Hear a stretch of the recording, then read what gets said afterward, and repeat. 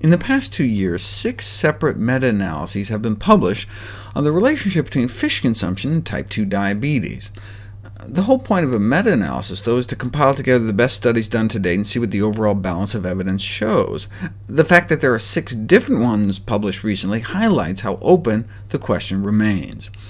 One thread of consistency, though, was that fish consumers in the United States tend to be at greater risk for diabetes.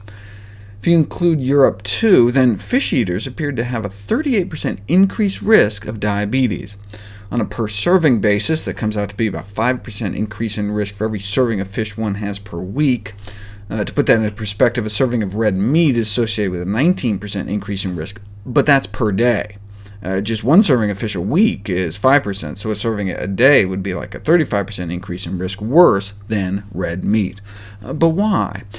Well, fish intake and omega-3 fats may increase type 2 diabetes risk by increasing blood sugar levels, as found in a review of the evidence commissioned by the U.S. government, an increase in blood sugars in diabetics given fish oil.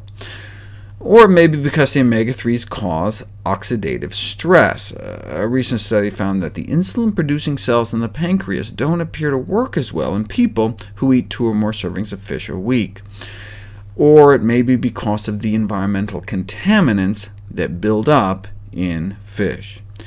It all started with Agent Orange. We sprayed 20 million gallons of this stuff on Vietnam, and some of it was contaminated with trace amounts of dioxins.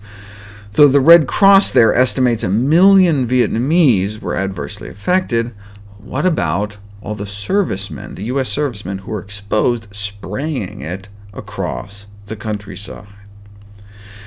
Reports started showing up that veterans exposed to Agent Orange appeared to have higher diabetes rates than unexposed veterans, a link that's now officially recognized. These so-called persistent organic pollutants are mainly man-made industrial chemicals, and among the most hazardous compounds ever synthesized. They include dioxins, PCBs, certain uh, chlorine-containing pesticides, all of which are highly resistant to breaking down in the environment. Initially described for their deleterious effect on reproductive function and their ability to cause cancer, there is now a growing body of evidence uh, showing that exposure to these pollutants leads to metabolic diseases such as diabetes.